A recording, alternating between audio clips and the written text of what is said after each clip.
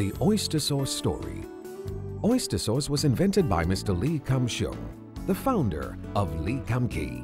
One day while cooking oysters, he discovered a fragrant smell from the thick oyster extract, and it was delicious. The oyster sauce was thus invented. The making of oyster sauce. Oysters are the essence of oyster sauce. The quality of oysters directly affects the quality and taste of oyster sauce.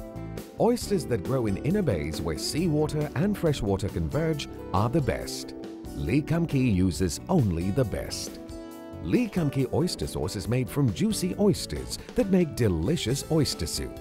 It takes 10 hours of slow cooking to turn oyster soup into concentrated oyster extract. 10 pounds of oysters produce only 1 pound of oyster extract. Every drop is pure oyster essence. Lee Kum Kee continuously improves its technology to ensure the quality of its oyster sauce. How to choose top quality oyster sauce. If oyster sauce is so essential, then we must choose only the best. Top grade oyster sauce has a nice golden color and the texture is smooth and rich.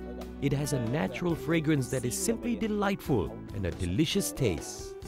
Whether you're cooking sumptuous abalone or a simple vegetable dish, Lee Kum Kee oyster sauce is the best flavor enhancer. It improves the texture and taste of meat and makes vegetables delicious too. The unique Lee Kum Kee oyster sauce. Anywhere in the world where Chinese cuisine exists, you can be sure to find Lee Kum Kee. The pure and natural taste of Lee Kum Kee oyster sauce is a true delight. Made from real oysters for real taste. Lee Kum Kee, the true taste of heritage.